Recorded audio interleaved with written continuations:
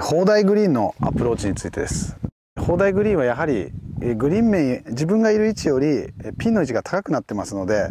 基本的にボールが跳ねやすくて前に転がってしまいます。ですからあのラインの状況にもよりますが基本的にはサンドのようなロフトが上を向いたものでロブショットではなくてそのままサンドのロフトをやはり少し上に向いた状態のままピッチショットというかふわっとしたピッチエンドランみたいなのが打てた方がこのように楽にボールがカップの方に寄りやすいです。基本的にやはりこういうこういうロブみたいなこういう上に上げるものだとボールは飛ばなくて止まりやすいのですがやはり距離感が出なくてさらに砲台で止まりすぎてしまうとボールがピンまで行ってくれませんので、ま、ロフトをうまくついたサンドだったり、まあ、ロブウェッジ、まあ、A ぐらいまでのロフトがあるものをうまくピッチショットでキャリーの多めのボールをこのように打ってあとはサンドのちょっと少し転がっていくようなイメージで打っていただくのがいいのではないかなと思います。で基本的には、え結構ボールが上げますのでピンの根元付近までちゃって大丈夫だと思います。このように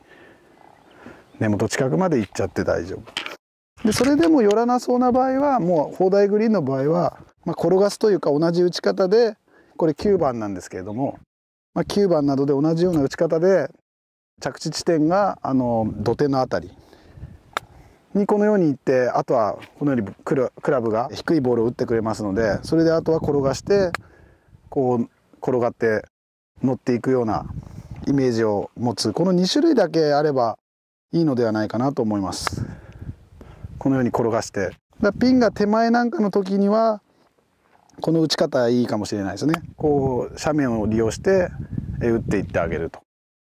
ていうのはまあちょっと経験が必要なので、まあ、とにかく打ち方は同じですね。普通のピ自分のピッチショットの打ち方で、えー、ロフトが立っているこのような9番でこうやって斜面に少しワンクッション1回当てていただくか、まあ、同じような打ち方でサンドウェッジやアプローチなど上に向いたもので振り切って少し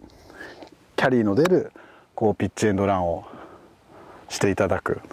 という形になりますね。そうすれば安全に砲台グリーンもある程度寄せていけるのではないかなと思います。いつも動画見ていただきありがとうございます。チャンネル登録評価お願いします。ゴルフでわからないことは下のコメント欄に書いていただけると、え動画でアップしたいと思いますので、えよろしくお願いいたします。